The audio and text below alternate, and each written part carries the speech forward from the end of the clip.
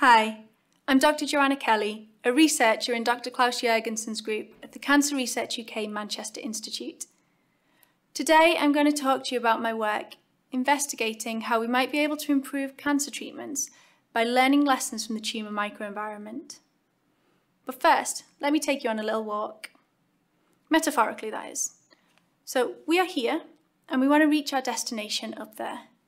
Now, this isn't a leisurely walk. We actually want to reach our destination as quickly as possible. At first, it looks like a pretty straightforward journey. We can take a nice straight line and be at our destination in no time. If this was all the information that we had, we'd most likely take that direct route.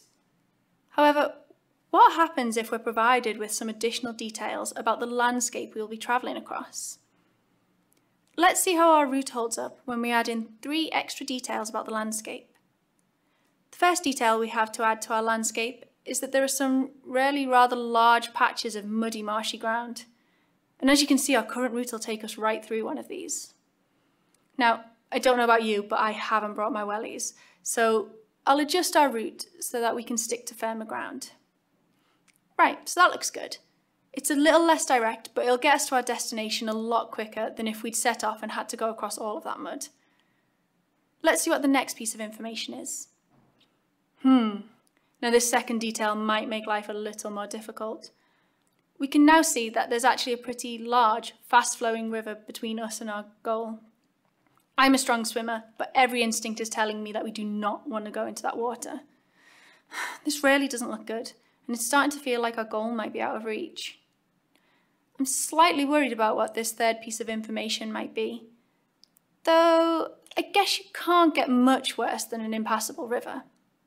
Ah, well this is actually some really good news. The final detail we have about the landscape is that there is a bridge across the river.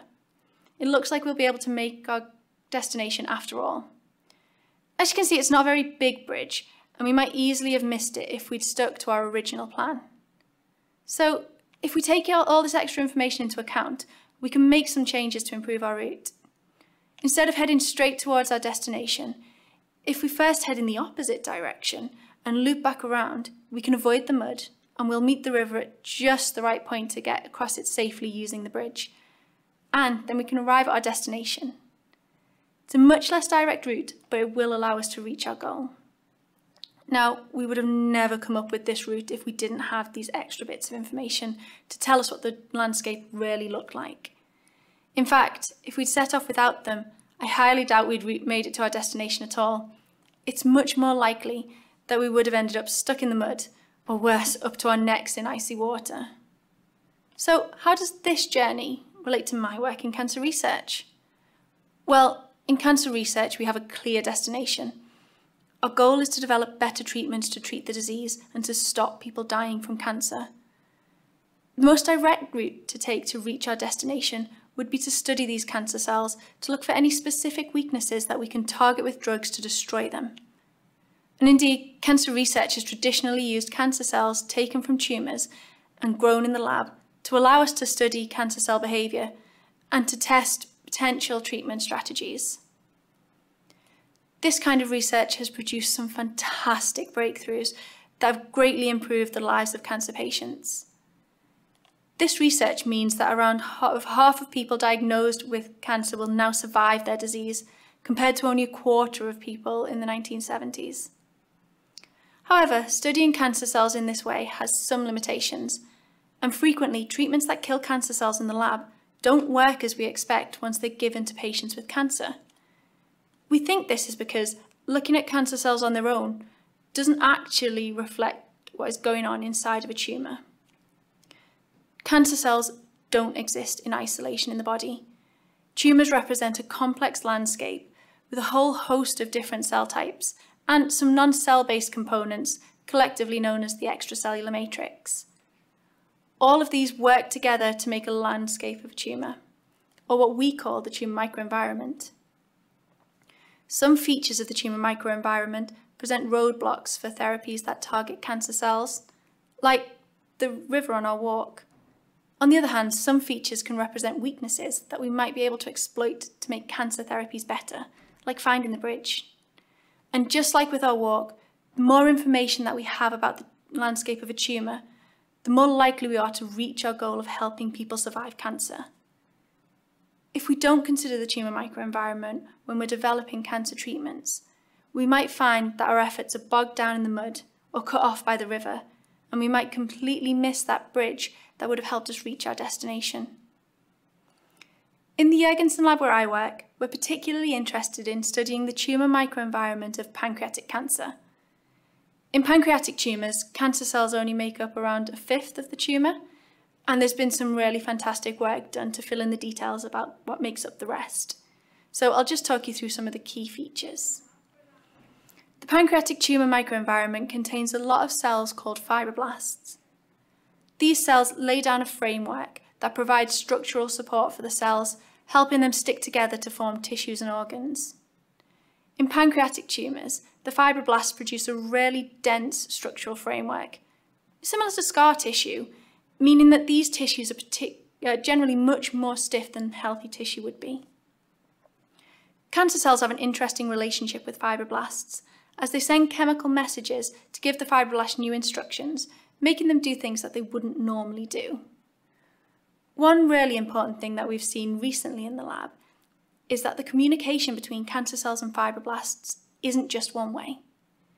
Fibroblasts that have been reprogrammed by cancer cells gain a few new tricks, and one of them is the ability to talk back to the cancer cells to drive changes that can actually push the cancer cells to grow and become more aggressive. Pancreatic tumours also contain a large number of immune cells called macrophages. Now, macrophages patrol the body in search of things that don't belong, like bacteria and viruses, and eat them up to remove them from the body. Macrophages can sometimes eat up cancer cells too.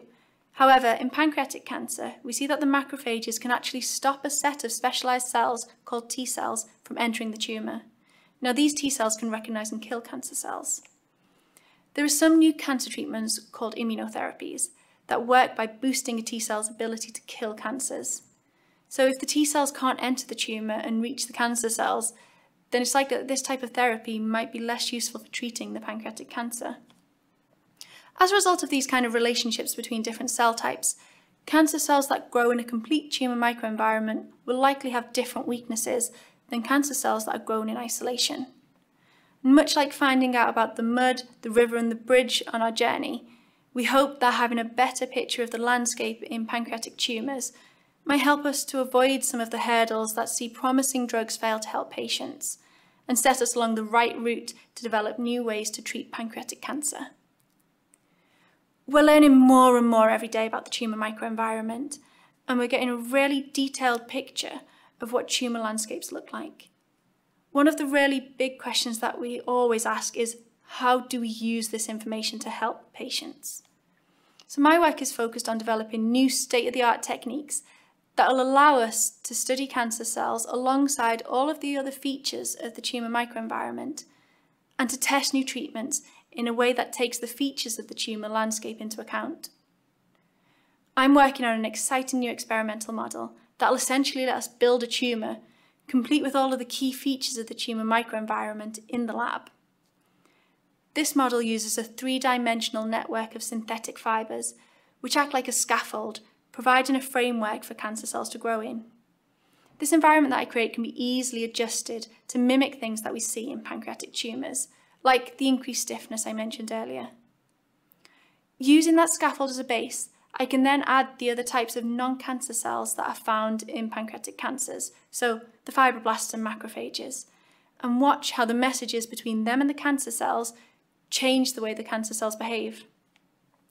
A really exciting part of models like this is that we can also use them to explore how cancer cells respond to drug treatments when they're surrounded by the same kind of cells that they would be inside of the tumour, which hopefully means that cancer cells will also respond to therapies the way they would inside of the body.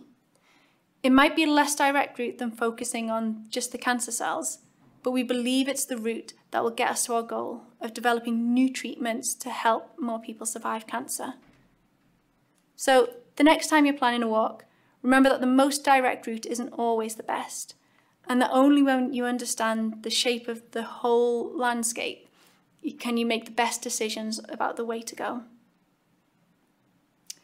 Thank you, and if you'd like more information, please visit our online exhibit.